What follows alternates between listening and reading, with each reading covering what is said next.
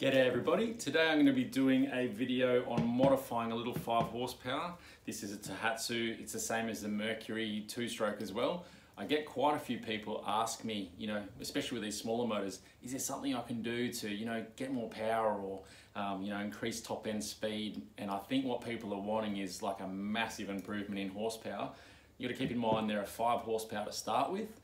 Um, you can get a bit more power out of them, but there's a fair bit in it. I'll just run through what's been done to this. Um, it's had the transfer ports done, the exhaust port opened up, um, it's got a high compression head, and the carburetor on it um, has been changed from a stock one, which has a 15 millimeter throat, um, and it's been machined out to 17 millimeters. The jets have been changed to suit that new throat size and the reed intake area has been um, ported as well. So yeah, so there's a fair bit in it. Um, we'll jump in and have a look at the ports now and um, yeah, you can check out visually what, what's been changed. When you're porting these things, you need to make sure that the port roofs, um, the angles and all that sort of stuff stay the same because it shoots the fuel air mix out on a certain angle, very important. You can lose power quite quickly. Um, so anyway, um, we'll look at what I've done to achieve a little bit more out of that. So I've got two blocks here. This one here is a standard block. This one here I have done some porting inside the uh, yeah transfer ports and exhaust ports.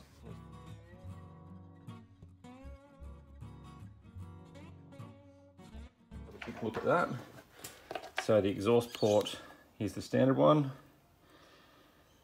And here's one I've opened up. I've actually raised the roof on that a little bit. It will change the port timing a little bit and the transfer ports. These are the ports the air fuel mixture comes in through. You can see there the aluminium block doesn't even meet the cast iron bore there. Very small little port there. Um, and then here's the one, ones I've opened up. Yeah, it's a lot, a lot bigger than the standard one there. Um, and then intake here, um, I've opened up this side of the um, intake a little bit. And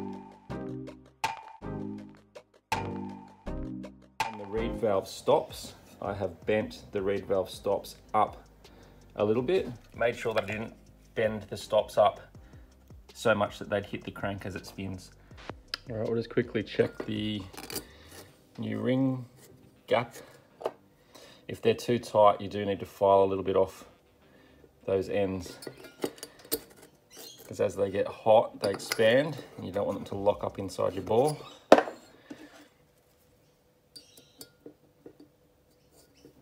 Perfect, awesome.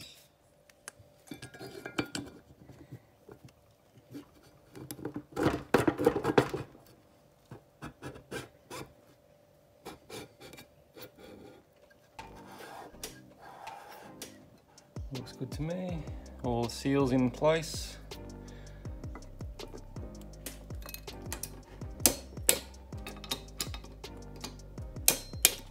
All right, I'm about to whack the head on this little motor. I've shaved this down and yeah, reshaped the little pot there um, slightly. Um, standard compression on these little motors is about 120 PSI. Um, I'm hoping to get between 135 to 165 PSI. Um, anywhere between that I'm happy with, but yeah, if I can get around 150 PSI, um, that's what I'm after. So I'll whack this head on and see how I went. All right, well this is the moment of truth. I'm gonna whack a compression gauge on this and see how I've gone with this head work. Hopefully it doesn't go over, you know, 160, 165 PSI. Um, I really don't want it over really 155, but um, see how I go. Like I said, my compression gauge shows a really healthy one of these motors, about 120 PSI. So um, over 130 PSI, I'll be happy. All right, here goes.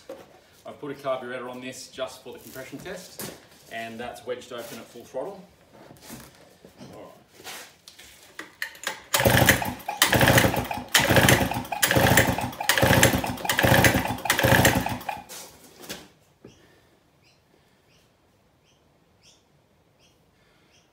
Awesome. Probably, probably just, just over 140 to start with. I do have a slight leak in this gauge, but very good. So we've added just over 20 PSI in the compression, which will make a big difference. Should. so we've got the power head on the leg here. Just got to fit the tank and the carburetor and then we'll uh, start it up. All right, she's back together. Looks pretty ugly, but I'm gonna give it a run in. It's a standard, the standard carburetor at the moment. Um, I do have one which has a bigger throat and stuff that I'll put on and play with once this is run in. So anyway, I'll get this thing started and